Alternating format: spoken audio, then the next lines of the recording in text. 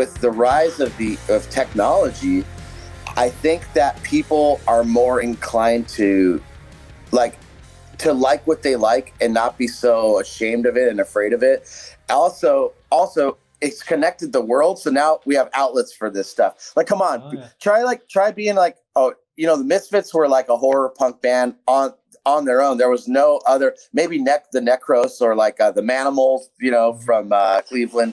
If I go, if you dig really deep, but like there was really no, like they're just a punk rock band, right? But they they had kind of cornered that that part of it. They were doing the horror thing. But think about you guys. It's like, you know, if you want to be if you want to be part of a movement or something, or, or you want to have like the horror rock scene, you could go on the internet now and like there's probably a forum or a Facebook group like Horror Punks Worldwide United, and everybody can congregate. It's amazing, mm-hmm. right? So, so long story short, when we started Night Demon in 2011, we had no fucking idea that what was happening around the world. Like we we just we were we were making music for fun and like we we had no aspirations at all because we're come from we come from the hardcore punk scene and that's very rich where we're from and for for our friends like metal is like a novelty and they really liked they liked what we were doing you know? And but no, nobody would ever take it seriously, right out there. So once once once the internet got a hold of Night Demon, and we were like, "What the fuck?" Like getting festival offers overseas, like pretty much overnight, uh, label oh. offers. We're like, "Who the fuck are?" We're finding out, hey, there's other bands like us. There's younger bands doing this kind of style. It's just fucking crazy. So I think that technology has made it so there there's like there are probably other subgenres of music that we don't know about that's way more popular than anything that we know too right? We we may never know about them but think about it. Everybody has their own website now.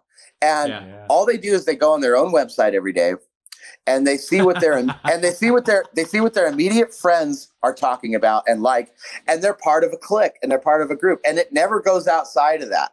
Maybe if you see like a guy that you went to school with that you haven't seen since the eighth grade will pop up and like well you'll you'll discover something new but probably not you know like so it's it's like but think about it. There's probably a guy that like all his friends are just horror punkers right? Yeah. and like it's just constant it's a constant stream of that. So you're just you're in the know. I mean you could you can have scenes now of anything.